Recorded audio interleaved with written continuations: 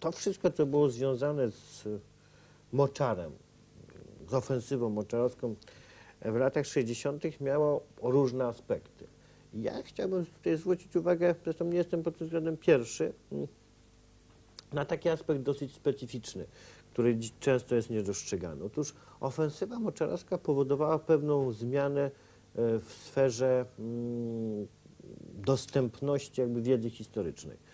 Dla ludzi wychowanych w tej tradycji co ja i dla ludzi, którzy się bardzo interesowali historią i nieustannie coś na ten temat czytali, to było zjawisko, które ja traktowałem jako pewne rozluźnienie. Jeśli ja się na lekcjach śpiewu uczyłem e, pieśni pod tytułem Partia nas wezwała na dwudziestolecie PPR-u, a później już w szkole średniej Marszu Mokotowa, no to dla mnie to jednak była pewna zmiana pozytywna. Ja nie ukrywam, że ja patrzyłem na to z pewną ambiwalencją, bo ja z jednej strony z wolnej Europy wiedziałem, że to są te najgorsze siły, w istocie neostalinowskie, mm, e, Moczar, ale z drugiej strony też patrzyłem na to no, Ale jakoś tam patriotyczne. I nie ukrywam, znaczy nie, patry, nie patriotyczne, nie, nie. No, Ale Taki głupi to ja nie- miejsce to głupi, dla treści głupi, patriotycznych. no. to, taki głupi to ja nie byłem. Niemniej była w tym pewna ambiwalencja i nie zapomnę, jak do mnie przyszli ludzie e, w 68 roku, którzy prosili mnie, żeby zebrać trochę podpisów e, na e, Wydziale Prawa przeciwko zdjęciu dziadów.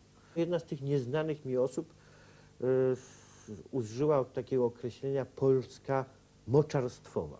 Pamiętam, że to tak wewnętrznie nic nie powiedziałem, ale przyjąłem to wyraźnie niechętnie, nie z powodu moczara,